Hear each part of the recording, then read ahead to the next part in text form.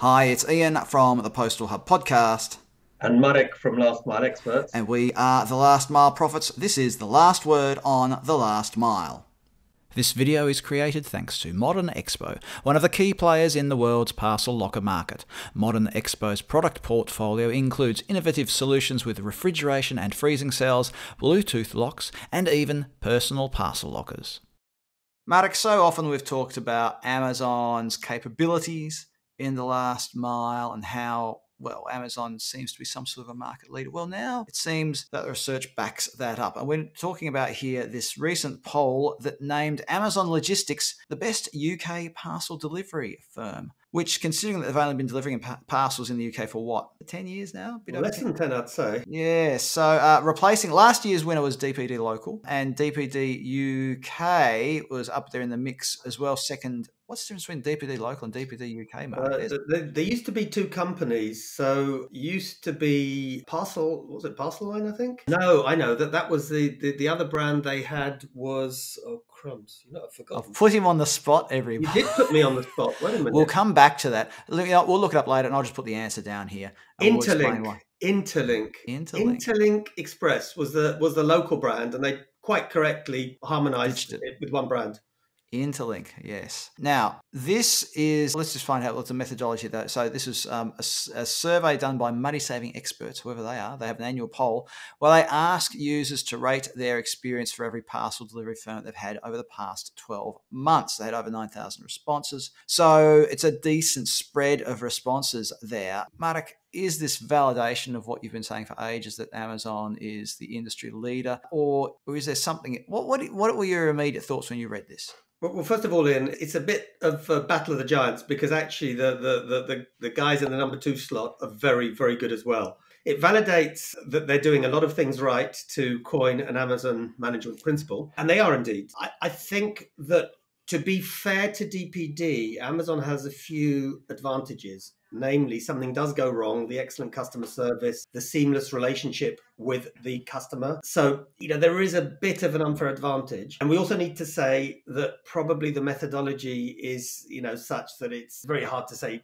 you know whether that number one slot is really so yeah. clearly differentiated. Yeah yeah. But fact I'll, is they are number one they are. They are, well, according to this poll, they are. But let's um, I, I want to just highlight a comment that was made by Dick Stead, our friend over there at Dick Stead, who said, well, he also said he's not wholly convinced by the methodology used in the MSE polls, but he said he calls it the Amazon experience rather than just delivery because of the whole. You know, with Amazon, you have this entire experience from shopping to checkout through to delivery. It's all Amazon rather than sort of the retailer handing off to third party delivery company. But um, he's also made a comment here. The interesting thing for me is that Amazon in UK do not offer any form of interactive delivery management unless they're using a third party carrier with those capabilities, nor do they offer any form of delivery time slots for your standard deliveries obviously. And he said many on this site, he's referring to LinkedIn, I suppose, believe that all carriers need to have IDM capability and offer time slot delivery, yet Amazon Logistics has neither. So is it just that, as Dick suggests, that what they actually why they succeed is because they deliver as promised? Is that actually more important to I, I think, customers than having control? Is somewhere in the middle because they do have very good tech competence. And IDM, what is IDM? IDM means you can communicate very freely freely with a customer. So first of all, they have advantages that carriers don't have. So they have preference data. Um, they ask you what happens if you're not home. Do you have a preferred address? Do you have things like you can put preferred times, etc., etc. Number one. Number two, with your selection of delivery method, you can choose whether you want it faster, slower. And unlike other carriers, when they make a promise, these guys really do everything to keep it. And I'll give you actually a real example. It's not related to the UK, it's believe it or not related to Poland. As you know, we had a webinar this week and I realized I'd left my camera in Estepona. Saturday night, I madly scraped through all my old cameras and realized that they were all so antique that they were useless. Clicked the buy button on Amazon on Saturday night, Sunday being a non working day by law in Poland, and thought, and I needed it for Monday because I had a workshop as well. Couldn't believe it because Amazon said, yeah, it's going to be delivered Monday. And I figured if I'm lucky, end of Monday, so I was, I was still panicking a bit. 8 a.m. Monday morning, guess what arrived at my doorstep? They didn't deliver to a locker? No, in this case, uh, I actually wanted a home delivery for specific reasons. A, I was home and I, I, knew I wouldn't even get the chance to get out that day. But I think the service is incredible. The interactivity, because interactivity can be an app, but it can also be the fact that they take your preferences, that you see online, you, you go into Amazon anytime, you see what's happening, you get exception reports, something's wrong, they do let you know. And if something is wrong at point of delivery, even when I was around, I remember that the, the, the courier would call the consignee, which is okay, it's, it's low tech IDM. So I would say it's unfair to say they have no IDM. They're based on what Dick said, I, I actually thought they had a bit more.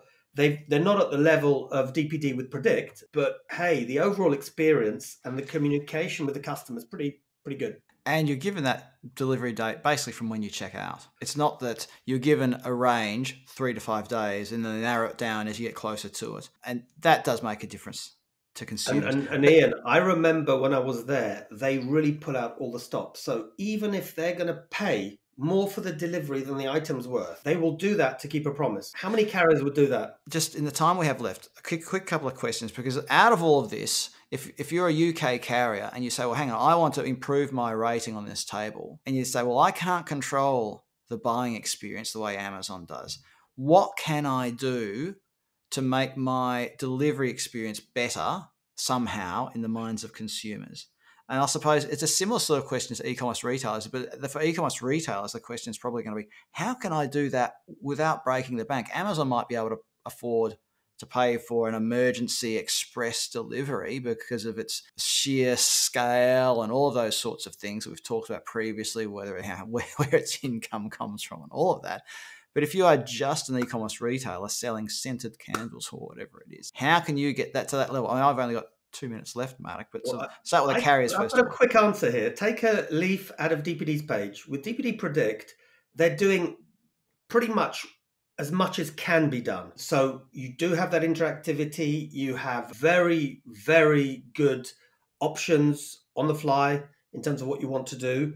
The only thing that they could perhaps do more, and it's not an easy one, is to try to integrate more and work more closely with the e commerce players to influence more what happens when you click because that's Amazon's huge advantage. When you click, and you said that, you know the time because they know the minute you click, they know where that item's located based on your basket. They know how long it's going to take and they have a huge advantage. So I think that's the only thing that e-commerce could do other than having DPD style predict tools is to get even closer to the e-commerce they work with. So e-commerce retailers getting closer to the customer, which of course is something else that Amazon's trying to enable small businesses to do with local stock, selling local stock locally and all that. Put a link up in that corner or that corner. I can never remember.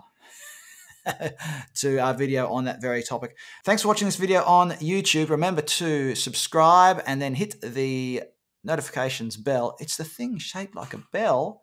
And that way you'll get a notification whenever we publish a new video on YouTube. Marek, it's a fantastic conversation. Lots of stuff to ponder there. Everybody, please leave your comments below. Let us know what you think on this topic. Are we right or are we really right? Is there something we've missed? Or if you disagree, it's great to have a bit of a discussion. Indeed. Marek Krzyzewski, thank, I'll get your name right in a second. I've only said it a billion times. Marek Krzyzewski, thanks for being part of the Last Mile Prophets today. Thank you, Ian. Thank you, everybody.